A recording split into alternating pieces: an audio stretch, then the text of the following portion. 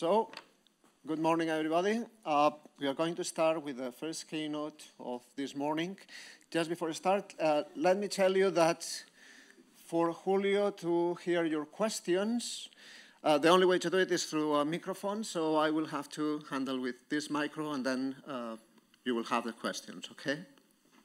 So it's a pleasure for me to introduce the keynote speaker of today, Dr. Julio Saez Rodriguez.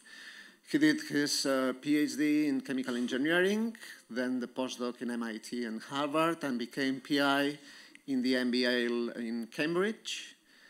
Then he moved to Aachen, where he was a professor of computational medicine, and he works now in Heidelberg, also as professor of medicine bioinformatics. He's an expert on the study of functional networks and signal networks and the role in uh, these modifications uh, affecting on diseases. So thank you very much, Julio. The floor is yours. I close now the micro. Thanks for the very kind introduction, and it's a pity I cannot be in person with you guys in Barcelona. So, but yeah, I'll try nevertheless uh, to, to share with you some of our work in, the next hour or so. And uh, yeah, so we are in Heidelberg and uh, in the, the, medical faculty. And uh, I should disclose uh, got funding from GSK and Sanofi and Synthesis from Strawberry and Astex, two small startups. And uh, with that out of the way, uh, let me first uh, start uh, at a bit of a higher level of um, what is our broad interest, and then trying to go a bit deeper also towards how, at least in our group, we try to combine both um, a more data analysis, bioinformatics, machine learning strategy with a, a, a, complementary dynamic mechanistic modeling. And I hope these strategies and, and, methodologies can be interesting for you. And of course, later we can discuss in more detail. So generally speaking, uh, we try in our group to see how we can use uh, different large-scale omics data uh, to, to better understand and better predict which therapies are going to be working for a particular patient. So as, as we know, we can generate uh, increasing uh, accuracy and scope and lower price, different omics like transcriptomics, proteomics, and so forth. So these are measurements of um, these different molecules across many, if not all, genes. And then for different samples, the samples can be uh, actual patients or can be uh, different um, model systems for the labs. No? And, and, also something, and I will come to this later, is it's becoming now also um, feasible to measure this not only for a particular sample, but in that sample uh, to measure all these technologies or these omics for each individual cell and in tissues to do this with spatial resolution. And as I said, what we try to do is to try to use this data and also a bit even the measurements the microbiome, not only on the patient, but also the different microbiota that are present sometimes uh, in different tissues to understand and predict which therapies will work better for the patient. So if you think about how to go about this question, uh, a very natural way is to say, okay, let's take all this large data and feed them to our statistical or machine learning method, and then try to extract relationships between the molecular features and, for example, uh, the prognosis of a disease, so it's a particular molecular biomarker of uh, disease, or build a predictive machine learning model that will tell us if, let's say, a drug is going to be effective in a particular patient or not. And as a model system to study this, we and other groups used large collection of cell lines. So this is around 1,000 cell lines. There is a large collection at the Sanger Institute led by Matthew Garnett. There is an equivalent one at the Broad Institute. And so all these cell lines, they come from different disease of origins. So they represent uh, different tumor types or, or individuals uh, uh, that uh, have different tumor types.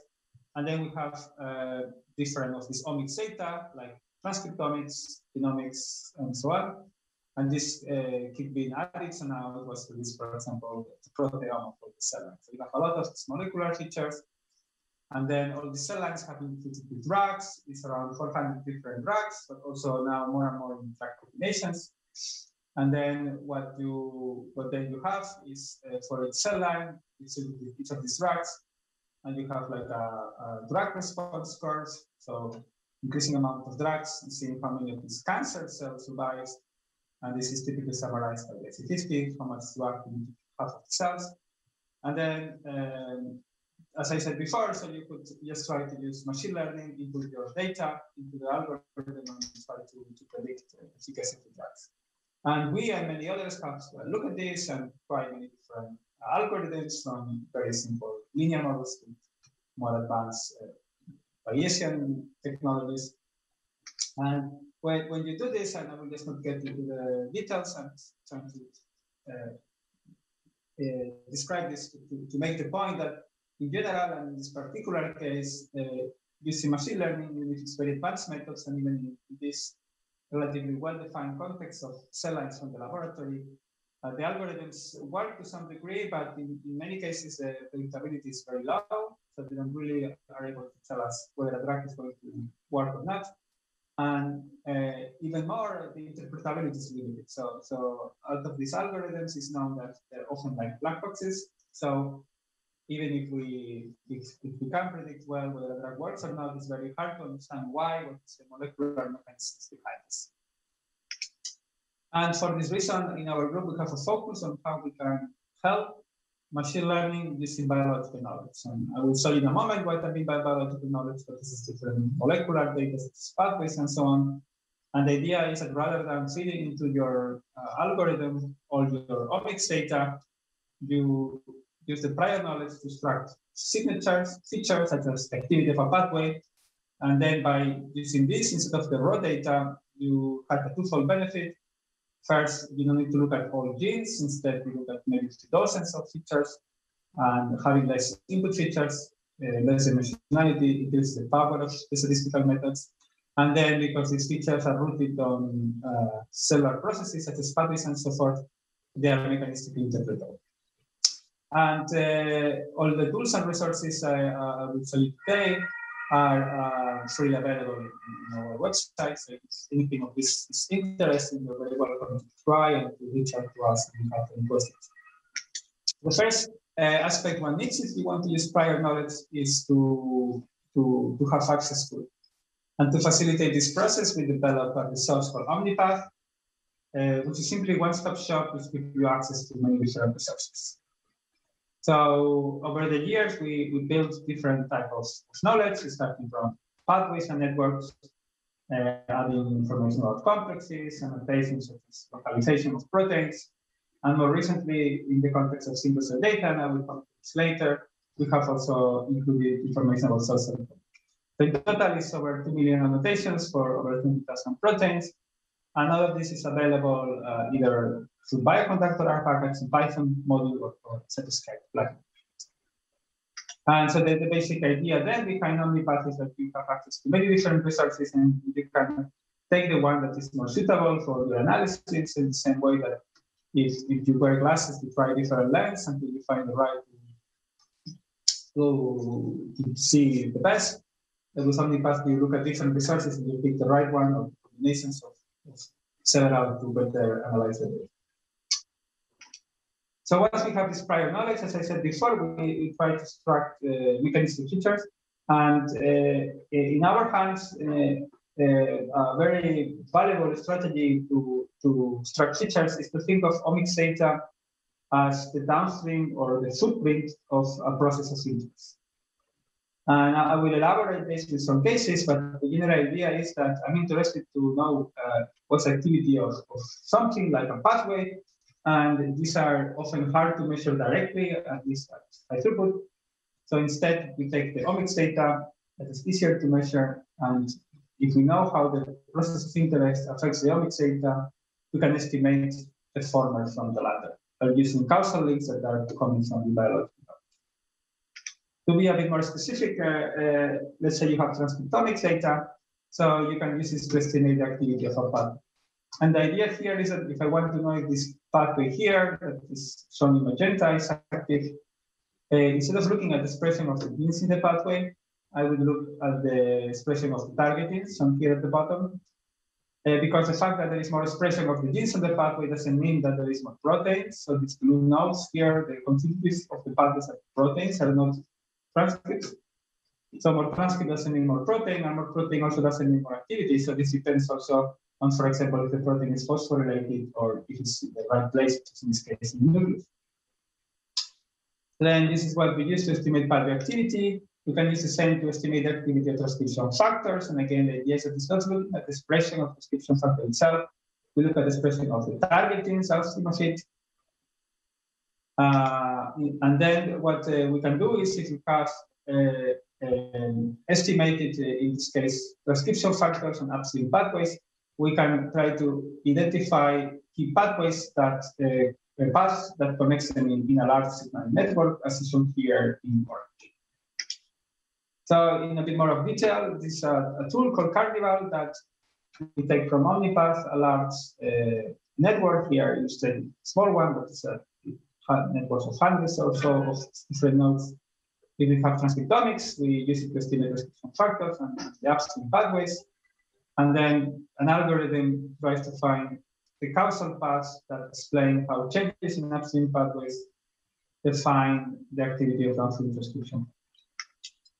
And going back now to the cell lines that I, I, showed in the beginning, now we can try to go back to the data and try to get a bit more of a mechanistic insight of what's happening. And then what we do is, because from all of this around, as I said, that goes online, we have the transcripts, but we also have the DNA. We can use the transcripts to estimate transcription factor and pathways, and actually the DNA, we can map them on the network to include the effect of different mutations. And then we can build for each uh, uh, of our thousand cell lines uh, a different um, network of causal paths. And then we can try to relate these causal paths to, to the drug response data. So we can try to see if there are specific components whose activity we have inferred from this network and uh, try to see if those are correlated with drug efficacy. And this way, try to find biomarkers or or uh, predictors of drug response that are coming from the network analysis, not uh, simply sort of from the actual level of the. And uh, I will I will not go into the results into detail, but what we see is that in fact these network approaches can find new biomarkers, new predictors that you would not see when looking only at the data. Something now I talk about transcriptomics, but the same ideas can be expanded to other type of omics. Uh, so if you have phosphoproteomic data, this uh, is phosphorylation of proteins, and this is mediated by kinases. So the same idea as before applies. I can estimate the activity of kinase by looking at the changes in the downstream phosphorylations here in green. Or if I have metabolomics here on light blue on the right, uh, I can use it to estimate activity of metabolic enzymes. And in all cases, it's the same concept that I look at changes in the footprint in the data define the activity of the upstream intelligence. Uh, and then what I can do is, in this multi-omic context, I can apply again this idea of finding the causal path in the network that I showed you before with this tool Carnival. So now applied to multiomics is a method called Cosmos that we recently developed. And um, I will tell you a bit more about this. And I will do so in the context of specific application. So it's a study where we look at uh, kidney cancer. So uh, colleagues Rafael Kramann, Christian Frezza, and Jesper Olsen. Uh, we had uh, samples of, kidney cancer and the matching of the tissue. So using mass spectrometry and RNA-seq, we obtained transcriptomic, phosphoproteomic, and metabolomic data. First, we applied what I just described. So from the transcriptomic, transcription factor activities, from the phosphoproteomic kinases, and from the metabolomic metabolic enzymes, here on the, on the right. And then using this uh, Carnival algorithms, we try to identify the key pathways that connect. So when you apply this to, to the real data, uh, starting point, this is, as I said, this is very large networks that combine signaling, but also metabolism and um, molecule protein interactions. It's, it's a huge kernel. As you can see here, from 170,000 interactions, and there is not very much you, you can do with this very complex network. But now, if you go and remap the activity of this transcription factor, kinases, and metabolic enzymes, as described in the previous slide, And then you find in this large network which pathways are connecting them. So how can we explain that, for example, in cancer, a particular kinase goes up and then a factor is going down. So the resulting model, uh, shown here on the right, is still quite complex, but much more manageable than, than the last network. So it has around 400 uh, interactions, as you can see. And then you can really zoom in into these uh, components and uh, identify specific uh, pathways or processes that are deregulated in the context of kidney cancer. And, and these are uh, bridging from signaling to gene regulation to metabolism. Here we highlighted in five mechanisms that either for some of them there was supporting literature that they were important.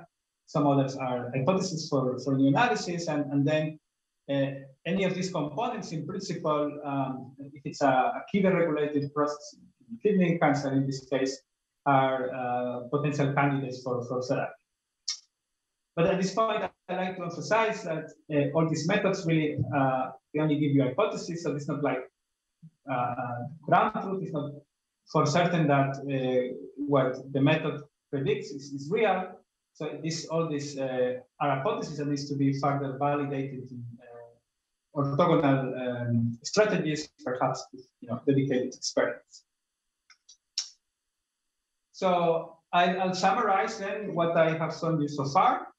Uh, so this idea that you have omics data, you can first extract the uh, features, the signatures, and in our case, using this idea of, of the footprint to look at the changes in uh, omics data as a way to estimate the activity of upstream process.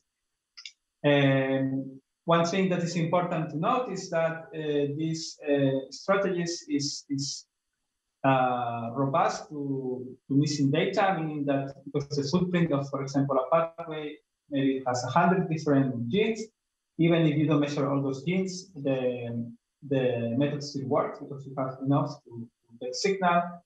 Uh, I will come back to single cell later, later, but the same, for example, is for phosphoproteomic, but it's also not complete. And then this footprint or footprint derived features, we can map them on large uh, networks and use that to extract uh, key mechanisms that, as I said before, are hypotheses for, for further validation. Uh, so I said this before, uh, I want to emphasize this again that the, the methods uh, that uh, I just showed you work for, for bulk, but also work for single cell. And this study here, I will not go into details give a number of benchmarks show that you can apply this to single cell.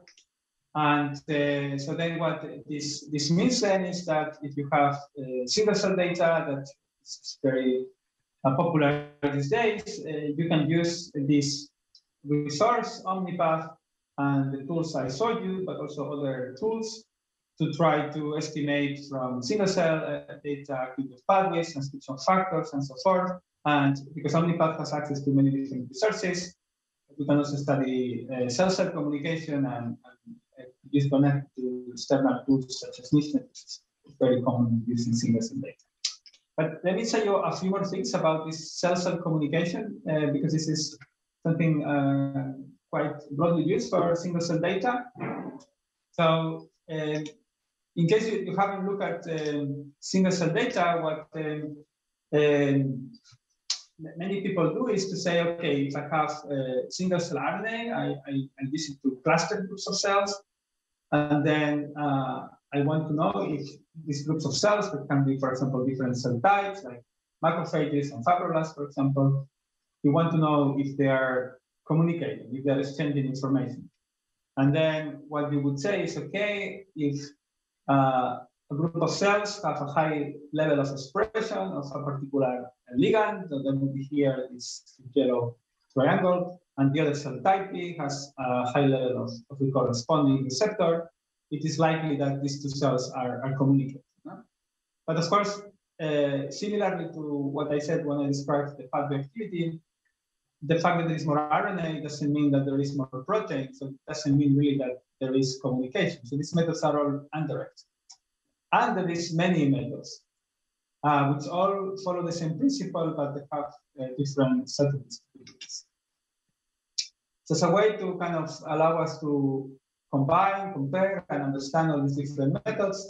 Building on, on Omnipath, where we have access to all those different uh, databases, we built a, a, tool called Liana, which allows this analysis framework for this ligand receptor interaction and combines many resources, many of the different methods. And, uh, and then, as I said before, by inputting single cell RNA in different clusters, you can estimate cells or communities. And uh, in, in, a paper that uh, is coming out soon, uh, I guess uh, if you want to know more, let me know. We benchmark uh, many of these methods and resources, and, and the, the, summary is that we found that most of them are able to capture some signal about social communication, but this is far from perfect. And, and this makes sense if you think about this biologically. So as I said before, what these methods do is to combine the expression of the ligand in a particular cell type with the expression of the receptor in, in, in the in another cell type. But in truth, communication is mediated by um, proteins or other molecules that are not uh, RNAs. So in these methods, you're assuming that from the expression level, uh, you, you can estimate the whole process, but of course, after the RNA expression, translation has to happen into protein, then this protein has to be secreted from the cell into the medium, it has to be used, it has to reach the target cell and then trigger a response. And um, there is a lot of steps that are not really uh, captured by single cell RNA data, but uh, nevertheless are, are, certainly happening. So uh, that's why, um, uh, as I mentioned before, we, we need a number of benchmarks to try to understand how well these uh, technologies that they don't really um, capture all these intermediate steps how much they can approximate. And, and it's very hard to benchmark this. There is not really good truth. But we use uh, indirect measurements, uh, such as spatial transcriptomics. Uh, and in general, as I said before, we find that many of these methods get signals, so, so they capture uh, likely signaling events, but not, not of them are right. So similarly to what I said before when I was talking about network analysis, all these bioinformatics methods, they only give you hypotheses, but then you should further uh, investigate and, and, validate with uh, independent methodologies. And so the, the last uh, frontier or dimension that is, is very important in, in this context of omics data is, is spatially resolved data. So uh, Single cell data is very exciting. You can look at individual cells, their molecular profiling, but for doing so, you have to dissociate them. And if these cells come from a particular tissue, so you don't know where these individual cells were in. But some technologies, and, and this field is developing as we speak very rapidly, uh, allow us to, to not only measure the status of individual cells, but also to know their spatial location on the original tissue so this allows us to even understand better the structure of tissues and how cells can interact. So as an application where, where we look at this, uh, we work with some colleagues studying uh, myocardial infarction, which uh, I guess we all know it's, it's uh, a major source of, of, uh, deaths in our society. And in particular, a process that happens when infarction takes place, which is called cardiac remodeling.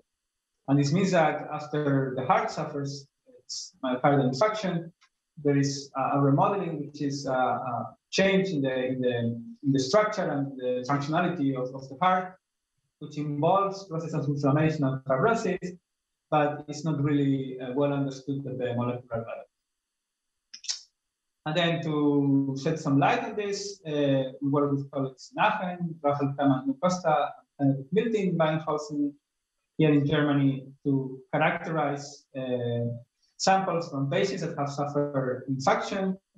And uh, so we have um, multiple samples for each patient. And in some cases, we have measurements in the ischemic zone, so where the infarct took place, the remote zone, which is the healthy tissue far away from the infarct, and intermediate border zones. And we also have uh, fibrotic uh, tissue and then we combine single cell technologies like single cell RNA-seq, also technology called ATAC-seq, which tell us about chromatin accessibility. So how open is the DNA and transcription factors combined to it. And one of these spatial technologies called Visium, where we can measure many spots in the tissue, and, and this allows us then to, to get this spatial results information. Although this technology in particular uh, has the limitation that uh, you don't have the single cell resolution. So each of these spots where you measure RNAs is um, uh, contains a few cells, uh, typically five to 10 cells. So then you need to try to understand each spot which cells are present.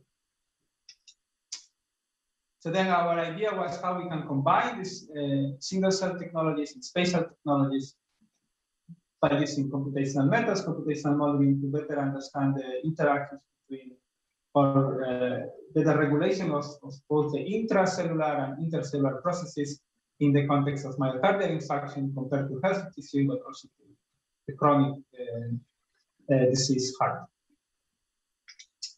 So, so the first thing that we did is to use a technology called cell2location to, to combine the single cell RNA and the spatial data to estimate in each of the spots of the spatial result data which cell types are present. Because I told you before, we, this technology doesn't give you what's happening in each individual spot with individual cell. By using the single cell data, we can estimate the presence of different cell types in the spot. And when you do this, uh, you get uh, these results. So here is in, in a UMAP, in, in a two-dimensional plot, uh, summarize the profiles of the different samples, and they're color-coded according to whether they are uh, ischemic, so coming from infarcted heart, from a fibrotic heart in blue, or myogenic, more or less healthy samples. And what you see, as, as you expect, is in the healthy tissue, you have mostly cardiomyocytes and reds, the major cell type in a healthy cell. As the cell becomes fibrotic, uh, you get fibroblasts, so uh, the major drivers of fibrosis, and, and in the ischemic heart, the heart is suffer infarction. Uh, you also see a lot of um, uh, myeloid cells, different immune cells. And it's also known that in the case of infarction, there is a very important immune response. But we want to go beyond uh, looking at cell types, and here's where we again leverage this idea of prior knowledge and, and, the tools I showed you before to try to extract uh, mechanistic insights. Uh, and uh, so what, what we did is to apply on each of the spots in the tissue these methods to estimate activity of pathways. For example, here is a patient who, has um, chronic um, infarction, and, and, then we see that TGF beta, which is pathway involved in fibrosis, is very active in certain zones of the tissue. Then we can look at the downstream transcription factor activities, and also at the at the expression level of regulated. And if you're interested in regulation, here we could use this ATAC data, so this information on on the how open is the DNA, the chromatin, to better estimate the activity transcription factor. But then uh, what we wanted to do next is, is to go beyond uh, looking at what's happening in the spot, but trying to better understand the interaction between the spots. So can we, given that we have spatial result data, can we use this to, to better um, understand uh, how particular cell types influence different cell types? And for this, we developed um, a multi-level machine learning model called MISTy, which allows you to do that. So it allows you to extract from a particular um, uh, spatial results data set how much of the changes in a particular spot depends on this spot, how much depends on the direct neighbors, so let's call it the local view, how much depends on more distant neighbors, and, so forth. And, and this framework is flexible, so you can apply it to other type of questions or other type of so-called views so the effect of, of uh, different type of, of uh, structural features. And, and, so when we apply this to this uh, hard data, uh, what we found is that the presence of uh, a particular subtype of fibroblasts, so denoted here with fibroblasts 2, is highly dependent of the presence of a, of a macrophage, which is SPP1 plus, is a particular macrophage that is known to be involved in autophagy. So, uh, and, and, this was something that was estimated from, from, the, from the analysis of this machine learning method of listing. And uh, here is, is, the underlying data supporting this on uh, spatial transcriptomics. And then this was validated with another technology that does give us the, the single super resolution, and where we could really see that there is this co-localization of these myofibroblast and SPP1 uh, macrophages. And again, um, uh, this opened the way to more mechanistic studies that we are looking at now, trying to better understand how these macrophages and these fibroblasts communicate. And as I mentioned, it's not to um, or thought to involve autophagy and other molecular processes that we are not looking Okay, so uh, uh, actually at this point, uh, uh I'd like to maybe uh, check quickly if, if, there are any questions so far, also because since I cannot I cannot see you so well, uh, I wanted to see if you could follow, because now in the second part, we will change a bit gears in the type of approaches. Is there any question on, on this part or any comments?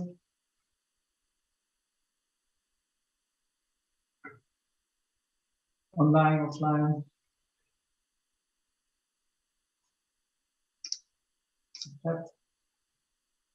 Maria, please.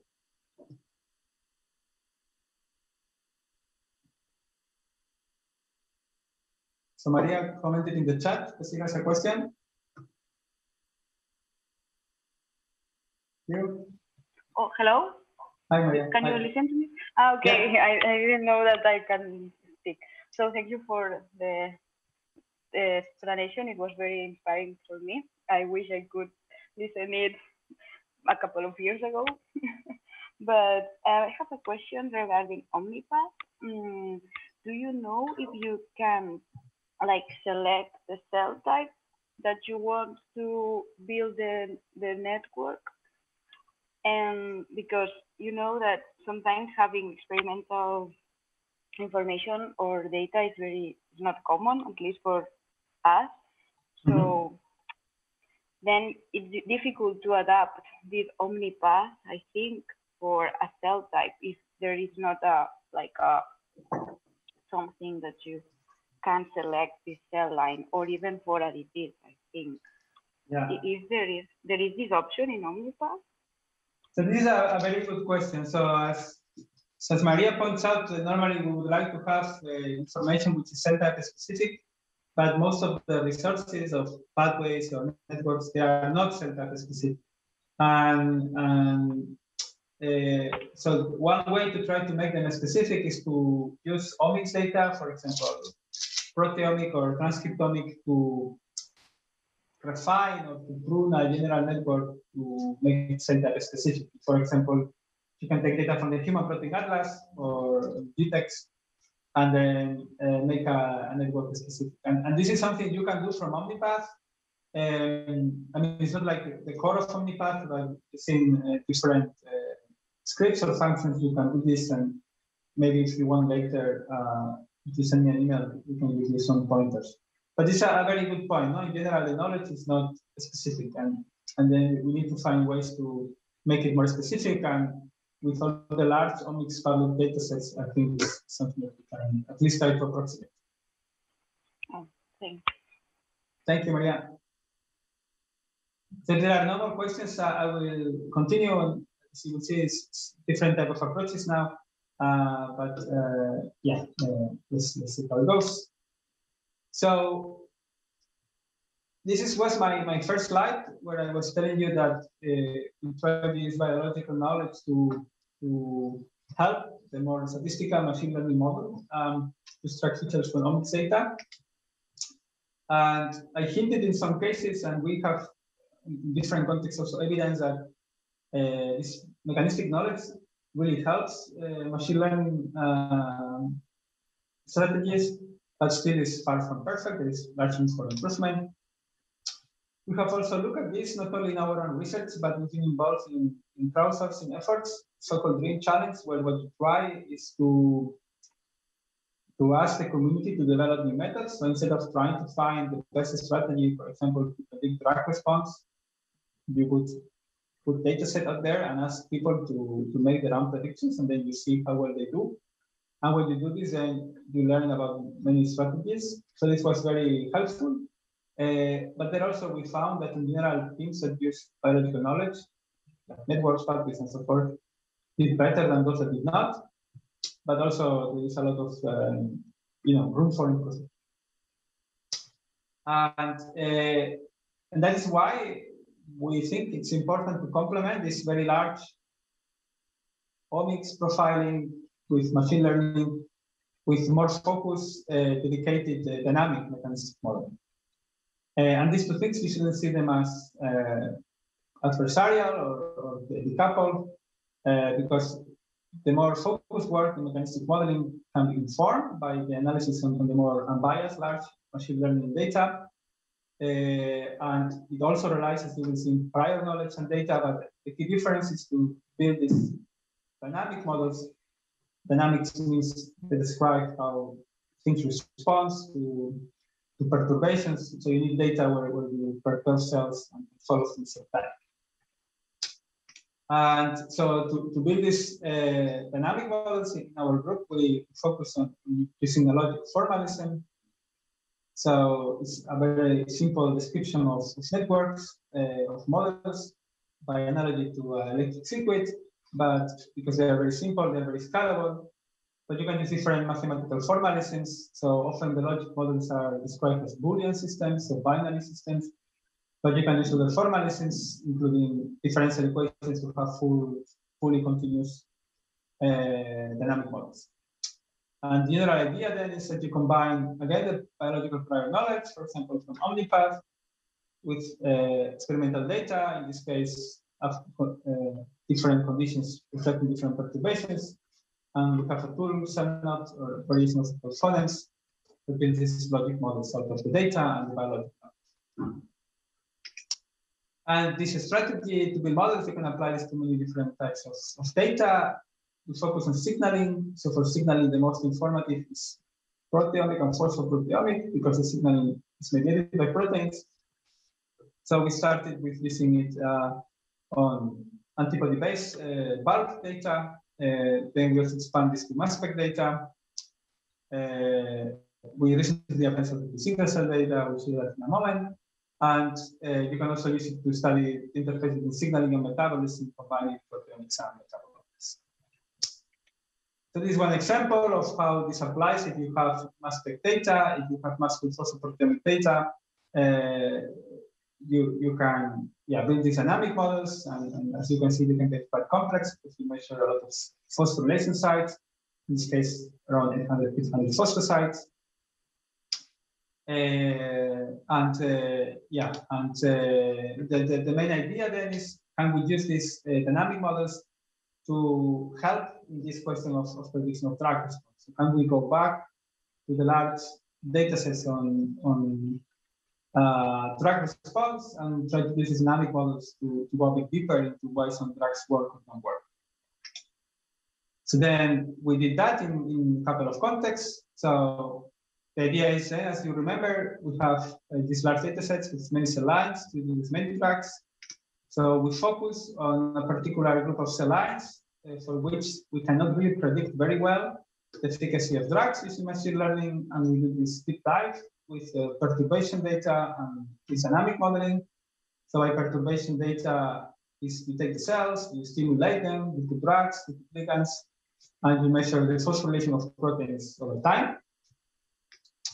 And then uh, you use this uh, logic modeling framework to take a generic network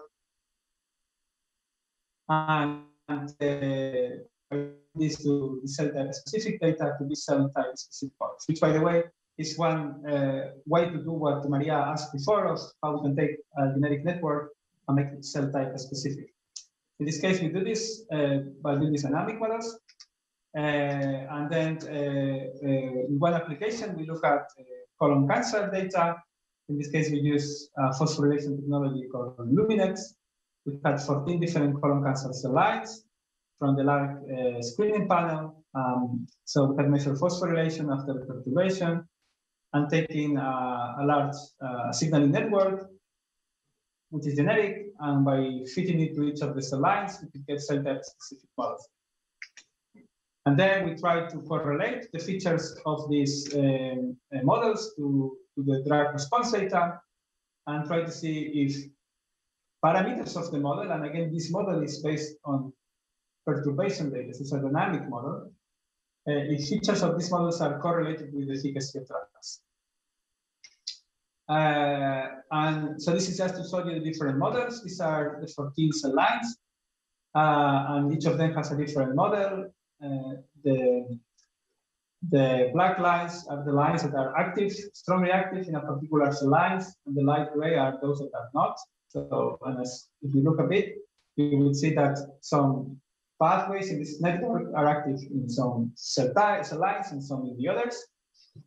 Uh, and then if you try to correlate, as I said before, the parameters of this model with drug response, we found uh, multiple cases where there was a strong correlation between um, uh, the parameters and the drug efficacy. So here is one example where we found that a parameter that uh, or describes the activity or responsiveness of a kinase called GSK3 it is very correlated with the activity of an inhibitor, a MEK inhibitor. So each of these dots is a cell line. And what we see is across the 14 cell lines, the, the more active is this GSK3, the higher is the IC50 of the MEK inhibitor, which means higher IC50 means less efficacy. So then the hypothesis we had is, okay, if this correlation is also reflecting a, a causal mechanism, so basically a relationship between the status of GSK3 and the activity of these MEK inhibitors, which are in different pathways. So now MEK is in the kinase pathway, GSK3 is in the ATP-mTOR pathway. So if there is some crosstalk between them, and this crosstalk is important for uh, or affects the activity of the drug, uh, what we reason is it does causal by by blocking the drug on this three by making it uh, less responsive to stimulation, then this would affect the, the, efficacy of the inhibitor, and therefore the cell line should kind of come to this part of, of the diagram. So we did this for the 14 cell lines. Uh, I will only show you the extremes. As a control, the cell lines here is already very sensitive to, to MEK. If you put uh, inhibitors of GSK3, we have different inhibitors. Uh, as you put more inhibitor, the efficacy of, of MEK inhibitor does not change, as you expect, because it's already very efficacious and it's already top.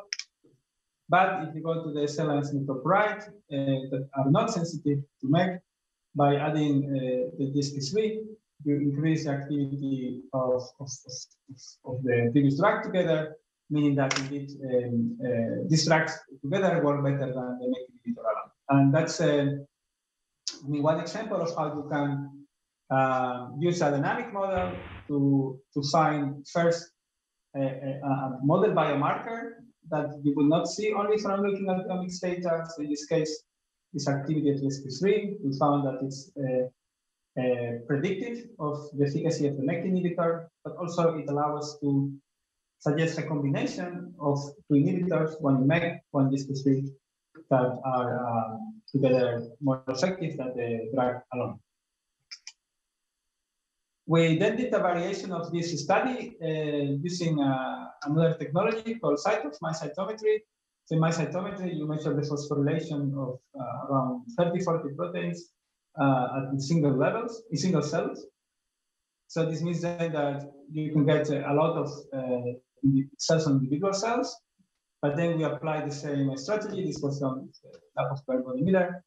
Uh, and in this case, it was not colon cancer, but breast cancer, but it's the same idea. So you build uh, from each breast line a data set of, of perturbation drugs and ligands.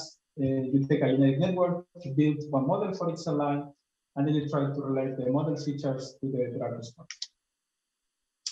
And here is to show you the model. So as I said, uh, this data is with single cell resolution. So, so you really have uh, a lot of data points. So in total, you measure over 80 million uh, cells. Uh, and then you have yeah, time courses of how this, all these different uh, uh, cell lines respond to stimulation with, with drugs and so forth. It takes some up to build these logic models. In this case, using the differential equation, so you can really capture nice dynamics. And, then just to show that uh, the models we build could look at the differences in different cell lines in the response of dynamics.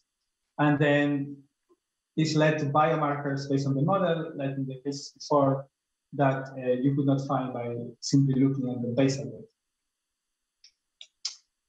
And so, so the last thing I wanted to say in this context is, can we apply this idea of dynamic modeling and perturbation data to patients?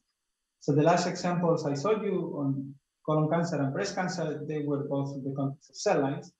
And this is uh, helpful and interesting, but at the end, of course, we want to know how to treat tumor in patients. But to make these perturbation experiments, you really need uh, a lot of material. So you need to take cells, treat them with many drugs, measure the activity. So this is not something that you can do uh, with tissues. The question is how can you apply these strategies really to, to patients? If you are looking at the at, at disease in the blood, that's still doable because you have um, uh, you can get a lot of blood from patients in, in, in many cases. So this is a study led by Marti Bernardo. Um, it was published last year where we look at multiple sclerosis. So we had blood from around 150 donors.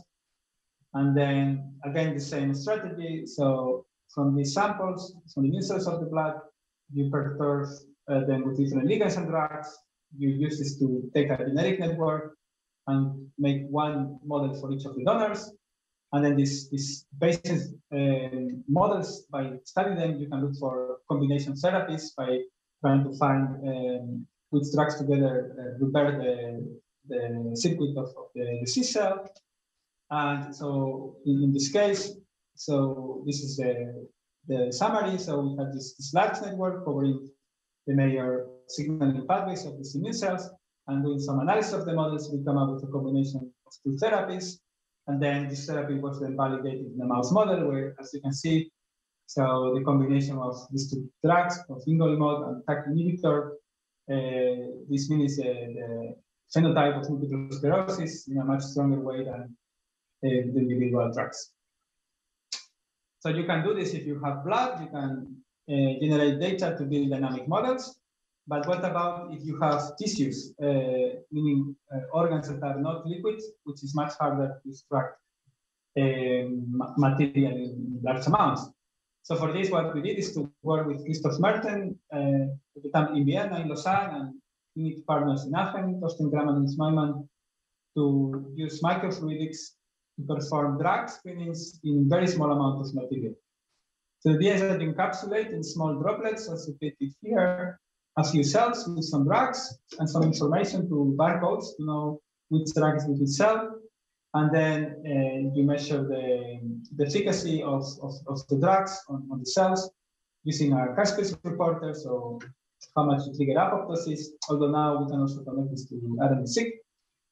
But the idea is that by using these um, microfluidics, uh, uh, as shown here, you can really automatize the process of screening drugs in very small amount of material, so you can take biopsies and, and do this right there.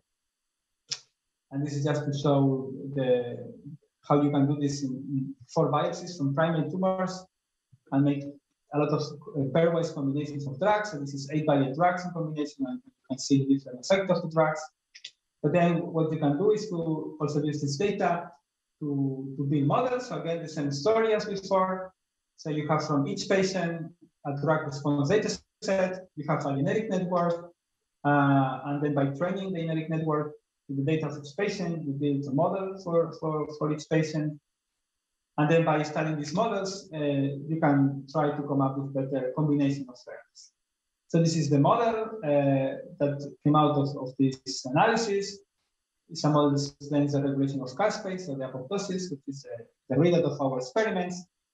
And then, uh, as before, you find uh, the activity of, of, um, of different pathways changes across different patients. In this case, it's represented by this uh, square sphere. So each of the little squares is the level of activity in each of the patients and this varies across the patients.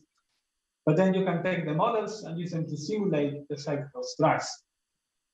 And that's another feature of these dynamic models that it's not only that you can look at them, but you can simulate uh, new conditions. Now, what happens if now I put a drug here, I put a drug there, uh, and so we did that, uh, and in particular, we tried different drug combinations. Uh, we tried to see uh, which drugs can be efficacious, and um, we could not go back to the patients, uh, but instead of this, we did the same exercise in cell lines and now xenografts, and in those cases, the model predictions when taking back to, to the lines or to the mice, uh, the combinations predicted by the model were efficacious. So this means that using this perturbation data from this microfluidic technology combined with mathematical modeling, is a good strategy to come up with new combinations.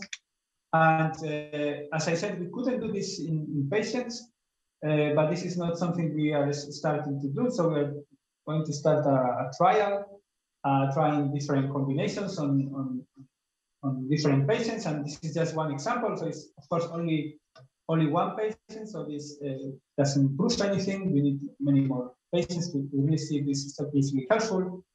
But so in this case, um, as an example, so this is a patient that whose treatment uh, failed. So the, the standard of care didn't work, which is a combination of these two drugs. So our colleagues in Aachen took uh, a biopsy, this microfluidic experiment was done, and from the microfluidic, this different combination was proposed of cisplatin and gemcitabine. So if now you go to, to the patient uh, who had this, yeah, this tumor that has, as I said, not responded to the first therapy, uh, then you, you give this combination, and then the, the tumor largely decreased. Uh, which means that the drug is, is being effective. Uh, of course, this, uh, as I said, this doesn't prove anything, or even in the case of this patient, eventually the tumor developed a resistant mechanism and came back. But this is an illustration of how we think that we can really, in, the near future, using microfluidics and mathematical modeling, perform drug screenings uh, directly ex vivo from patients. And this information complements the more standard uh, uh, information that the pathologists and, and, and the, the, the, doctors use to, to pick treatments because it's a bit more functional, it's how cells respond to the drugs, and hopefully this can help to improve how we treat cancer patients in different conditions. So with that, uh, I'd like to finish. Uh, first, uh, I'd like to thank uh, the people who, who did the work in the lab, in particular so Dénes is the main developer of OmniPath. Uh, did the Carnival work on the cell lines. Aurelian did the multi-omic integration Cosmos. Martin did the multiple sclerosis study, and Federica the last ones on cancer with microfluidics. By the way, we are looking for postdocs and PhD students in case any of you are interested. And uh, Heidelberg is uh, a nice town, maybe not as nice as Barcelona, but this is not nice small research town. And uh, I'll just try in the last few minutes to summarize what uh, I tried to tell you today.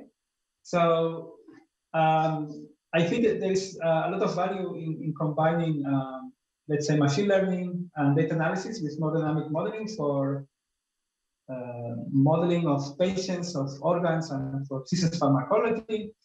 Uh, first, machine learning, if you apply this to, to omics data, as I tried to state, is certainly a powerful strategy, but still is a long way to go. And we think that combining or using biological knowledge helps a lot these type of strategies because you increase not only the performance of machine learning, but also the interpretability. In this context, I emphasize the, the value of this idea of the footprint as a way to extract features from omics data. So if, if I want to know about a process, I look at the downstream genes, for example. Then I talk a bit about how these strategies can also be applied to single cell and especially short data, which is, is very exciting because uh, it opens new opportunities, but also has some challenges for the computation. And the last part, I describe how we can use dynamic models of, of signaling pathways based on perturbation data, and how this can many times shed light on things that the pure machine learning couldn't tell us much. And this is mostly uh, because of, we think of, of this idea that how cells respond to perturbation is very important of its functionality. and this cannot be captured only by profiling uh, in steady state in the basal state samples, but seeing how they respond to perturbations. And, and, and, so based on this, in general, our, our idea is to have biological knowledge, genetic model. This model you can then train it to patient specific data, can be this static data, the machine learning strategy as we talked at the beginning, or can be more dynamic data, data after perturbation. But in both cases, you try to build basing a patient-specific model uh, and use it to, to extract mechanistic insight into the disease, but also to better predict uh, efficacy levels. And with that, I'd like to finish also saying again that all our tools are freely available and I'm happy to take any questions. Thank you for listening.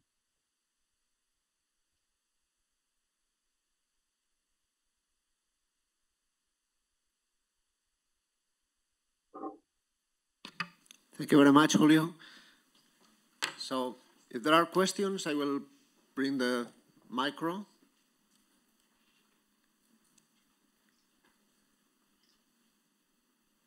Questions also in the online? Uh, maybe I can break the ice. well, thank you very much, uh, Julio, for this, this very, very nice talk, and it's really impressive and inspiring work. Uh, my question is, is really a curiosity. Uh, so in a, in a project that is supporting this, uh, this summer school, we're targeting musculoskeletal uh, tissue regulation was uh, very long inertia of tissue changes over several years. And during this process, uh, there are many modifications because of mechanical loads uh, and, and, and cell senescence there are many modifi modifications of the cell sensitivity to its microenvironment. So the interplay, for mm-hmm. example, between uh, inflammatory factors and, and the chronic mechanical loads that the organ is, uh, is seeing, so as becomes modified uh, over the time. And this is, this is what drives, in the end, the phenotype. So I, I understand this is an extremely complex question, but how do you envision this could be tackled uh, through modeling, for example, by, by, using the kind of approaches that you've presented? Yeah, it's a good question. So I guess if I understand it, the major challenge would be the mechanical aspects, no? Uh, I mean, the, let's say what I described focus on molecular uh, interactions, communications, but uh, as I understood your your context, there is mechanical forces to include into the model. Is this right? So to put it a little bit more biological, yeah. let's say that yeah. you have mechanoreceptors on the cells that have a specific response under a specific biochemical environment, so with specific mm -hmm. uh, cytokines. So at uh, time zero, the response is one thing. And uh, at time uh, 10 years, the response becomes another thing. And so there is a, there is a whole history that is actually important to drive a specific phenotype. And, and this is, for example, in osteoarthritis, okay. yeah. this kind of disease, that's, that's very important to capture that in order to have proper uh, drug treatment strategies, which we don't have right now. I understand. Mm -hmm. Okay. Yeah, it's a, it's a I, I guess it's, it's, a challenging uh, question. Uh, I mean, one way you could start thinking of this could be, as you said, that over time, based on, on the environment, uh, the, how the, the mechanoreceptors respond changes. So the, maybe the simplest approximation could be that you have like different snapshots, right? So you could envision that over time, as this uh, effect of the environment uh, comes in, the kind of the wiring of, of the mechanoreceptor network changes. And I mean, this is a bit, you know, I could be analogous to, for example, how the network of, of, of a patient can, cancer evolves over time. So that could be one way, very simplistic snapshots. And then next step could be to basically have uh, kind of a dynamic model that describes evolution over time of the network. No, uh, I mean, we haven't done this ourselves, but that would be how I would think about. But yeah, it's a very good question.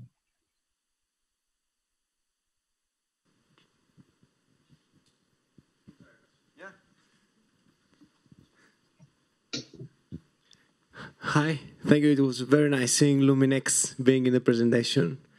Uh, so I want to ask, aren't a little bit the networks biased towards how many antibody pairs you have when you build the networks? Wouldn't it be better to have less cell lines and do mass spec data and do and get phosphoproteomic data from mass spec so you can have a bigger network Yeah, and you uh, have better networks? So that's uh, true. So uh, um, and in a way, it's a trade-off. No, so the mass spec it's improving a lot. Still, is it takes more time and cost than uh, running the antibody kits. So we, we have done that as well. So we have projects where we have mass spec data uh, also proteomic, and uh, then you have much larger networks and get more unbiased. Uh, but um, yeah, but then you cannot do at least the same budget, you cannot do so many conditions. So it's a trade-off between coverage and not missing out things that you don't know about, and um, uh, yeah, exploring the dynamic response. And one could think, you know, I showed you one extreme, you could we have done the other extreme, you could also think of doing hybrid. No? You could say, okay, maybe I do first mass spec with few conditions just to identify, uh, but well chosen, for example, drugs that I'm most interested in. This is uh, and build network models, uh, and, and, and you can build these models, right? So I think I showed it briefly. So. Uh, so you can build such models for, for mass spec, like this one here, right? So, and then uses to pick to see, okay, which of the processes seems to be key, seems to be responding to my drug of interest, and then maybe if I want to do more conditions or more time resolution, then maybe go to the antibody. No, like in this case, I would see, oh, I don't know, ERK is very important, and AKT is very important, PKA, and then uh, I follow up in a more detailed manner. But yeah, but there is always this trade-off, uh, coverage and throughput, which means uh, throughput means in our case more drugs, more ligands, or more time points, which is another key aspect. No? The time point at which you measure for dynamics is essential, and I, I didn't discuss this, but uh, you know, if you have only one or two time points, you have to choose them really well, but they inform you about how the cell responds to stimuli. And that's again a trade-off, no? Coverage and picking the right dynamics.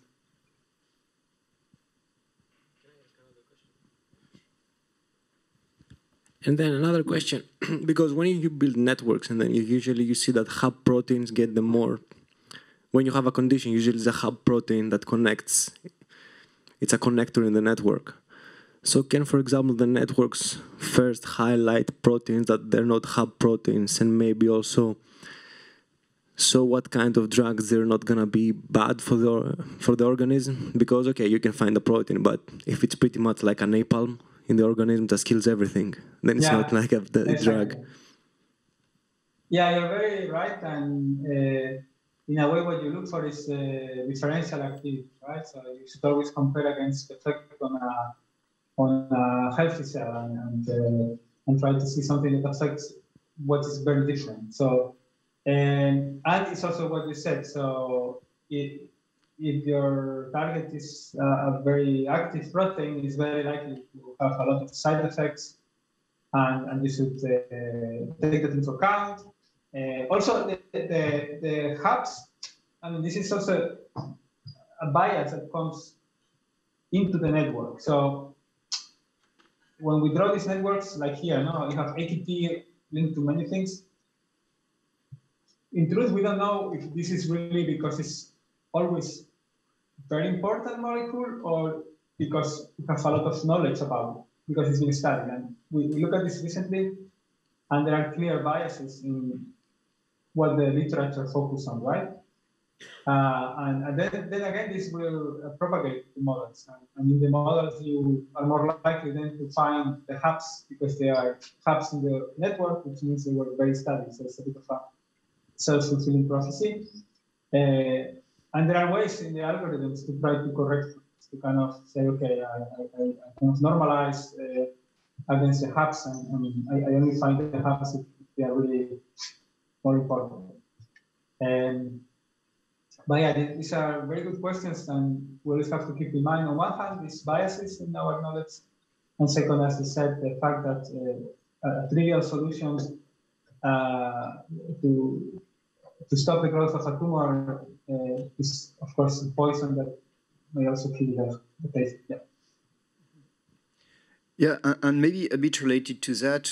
Um, so especially when you're working with knowledge-based uh, modeling, so you're not obligatorily controlling very well what you should include, what you what you shouldn't include, and then there is a huge work of uh, network cleaning that is based on um, testing different tests. Uh, whether you, you, get an, uh, an expected uh, answer according to a specific perturbation, and uh, within the, the, the the kind of huge networks and systems of networks that you're handling. So do you have a, a standardized way actually to do this cleaning? Do you, do you, are you successful in defining standardized tests? And uh, is it necessary actually to, to go for the development of these standardized tests if it doesn't exist? So what, what, what would you mean by a test? Uh, a test means that you perturb the network in a specific way and you're expecting uh, a specific response. So a benchmark, yeah. which allows you then to say, okay, uh, this node, know, is, is, is a bit annoying, and I will get a little bit more into that, and effectively it shouldn't be here or it shouldn't be connected that way. Yeah, yeah this is a very important limitation and uh, or, or question to keep in mind and I think a limitation is often to have really ground truth. So how do you know what should come out? This is, I think, general actually many of, of these strategies, and I mentioned this when I was talking about cell-cell communication. But for the networks, I mean, you can indirectly test that the models are working well. If, for example, you leave out some data and you try to see if your model can predict the data, uh, this can be particular condition, like a particular uh, knockdown uh, or condition that you have done, or can be leaving out some of the measurements. In this case, uh, see the model can predict some of the things that are going up in red. Um, and, and that's very important to, to get a sense that the model is working. Uh, or, uh, yeah, as you were saying, so if you have, you can use the model to, to make a, a prediction on, on, on, the importance of a particular node and then follow this up experimentally and block it and see if it is as important as the model says. But um, yeah, so in a way, you can use the models to make predictions and see how well the predictions work. But truly knowing what is the underlying molecular ground truth, I think is harder, at least at large scale. And uh, that's why, yeah, we have to go a bit indirect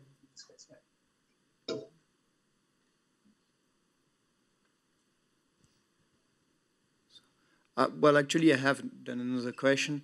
As so, how how is the level of translation of all what you're doing uh, to clinics? So, can you envision that at some points this can become uh, part of of routine exploration, advanced diagnosis, uh, advanced assessment of uh, fitness of a patient to specific drug or combination of of drugs? How, how are you seeing that? And then what might be the yeah. challenges?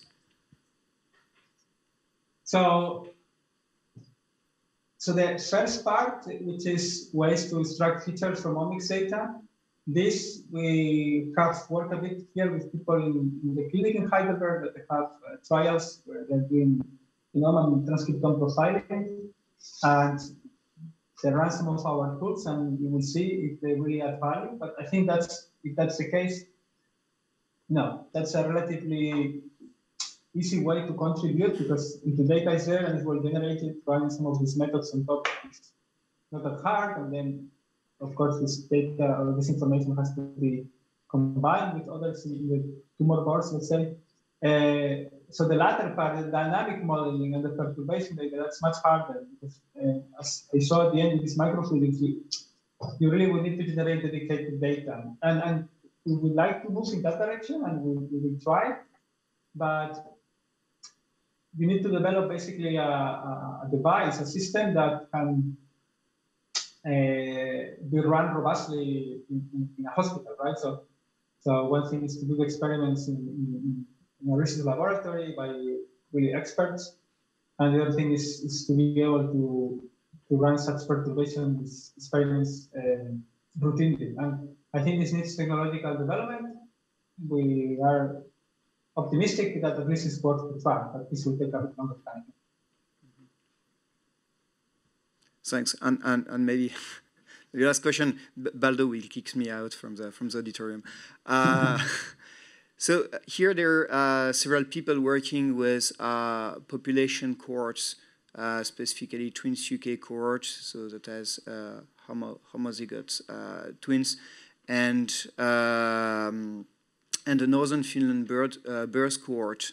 So how do you how do you because I, I hadn't the impression that you're working actually uh, with with population cohorts in order to make the development, or maybe maybe I'm I'm wrong. Do you think uh, these cohorts bring an added value to, to all these these developments and uh, maybe the, the, testing and applications?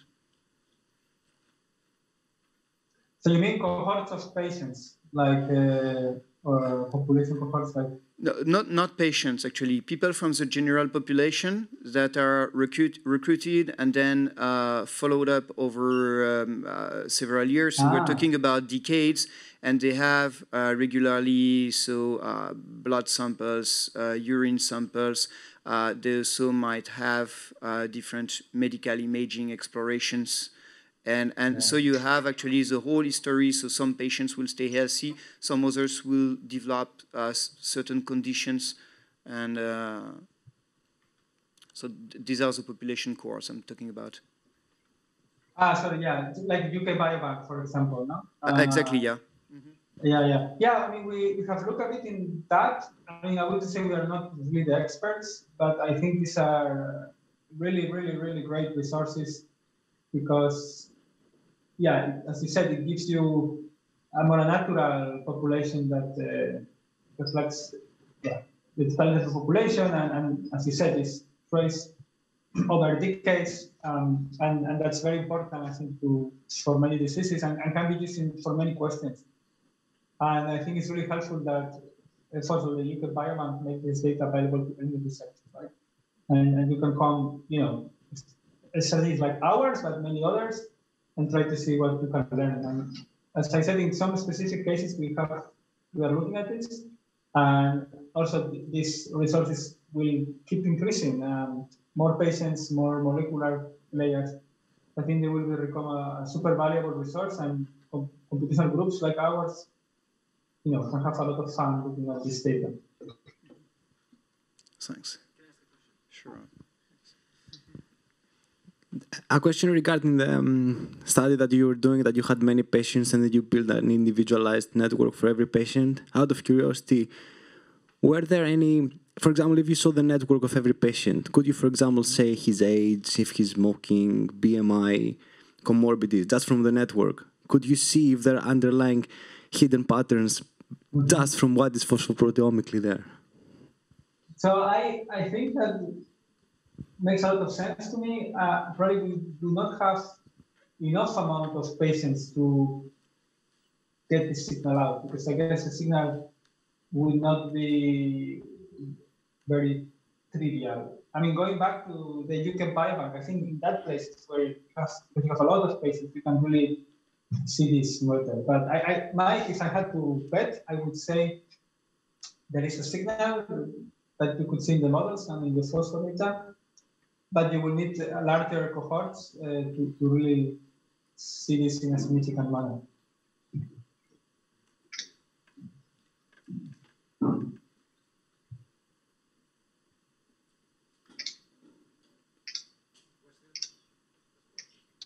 No? Just take mine.